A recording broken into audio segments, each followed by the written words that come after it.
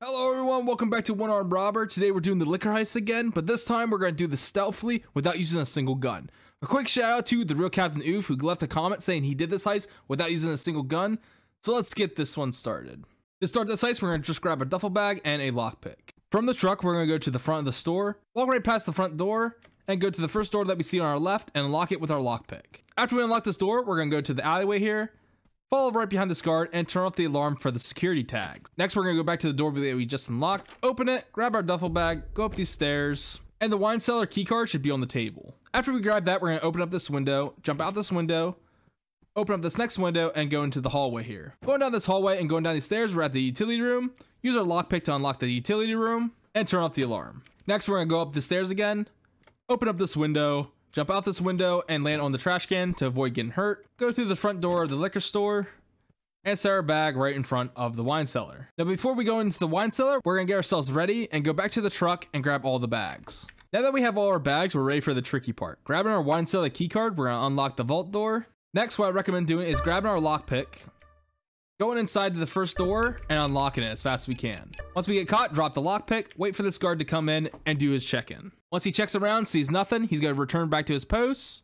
Once he does that, we're gonna pick up our lockpick and unlock the next door to our right. Once again, once we get caught, drop the lockpick.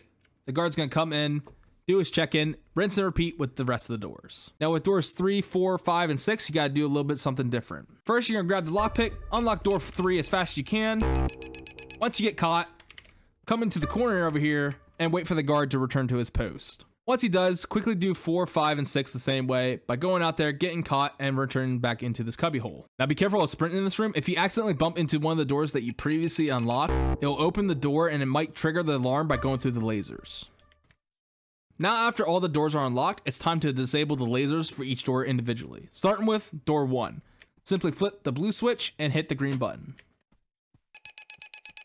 Next we're going to go out here. If we get caught, we're going to wait for the guard to go in. Once he does, I'm going to pre-open this door, grab a duffel bag, wait for him to leave, and quickly hop in here.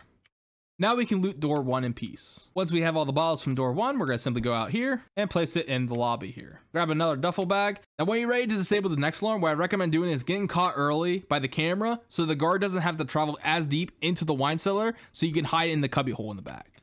So we'll just come out here, get caught by this camera right here, and quickly go into the corner here. The guard should only come in halfway through the wine cellar and go back through. Now we're ready to disable alarm two, which is simply yellow, green, red. Take our duffel bag, pre-open this door, and wait out here for this guard to do his check-in, rinse, and repeat. For door three, simply do yellow, green, red, blue. After looting door three, now it's time to empty our bags. Instead of taking these bags one at a time back to the truck, simply take them all at one time.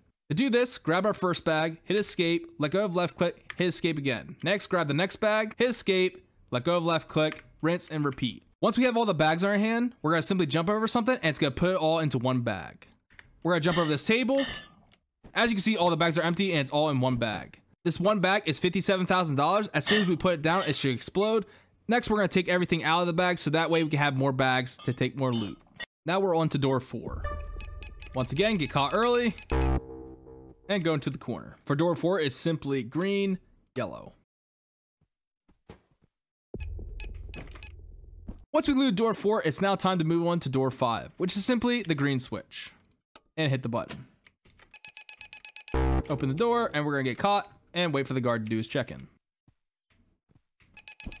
And now we're ready for the last door in the wine cellar, door six, which is simply green, blue.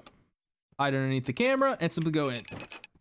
And after looting the final bottles in door 6, we have looted all the doors in the wine cellar. And after taking them back to the truck, we can walk away with $101,000. But there's still more loot to take. The two walls outside the vault also contain wine bottles.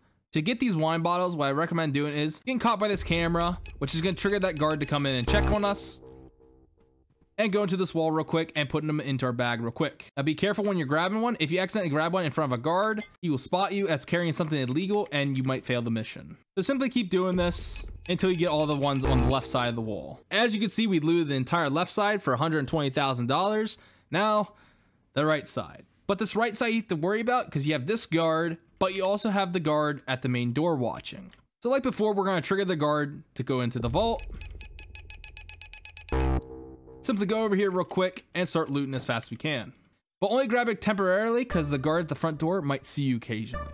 And so that we don't accidentally click on this guy and accidentally tie him up, what I recommend doing is actually running into him and pushing him out of the way. And after looting the wine cellar and both walls outside the wine cellar, we're walking away with $137,000. But there's two more bottles that we can't forget. The first bottle is on the left right here, next to this guard that we've been tricking all this time. And the last bottle is on the main counter. Simply just grab our bag, put it at the counter here, and we're simply just going to nudge it off into our bag.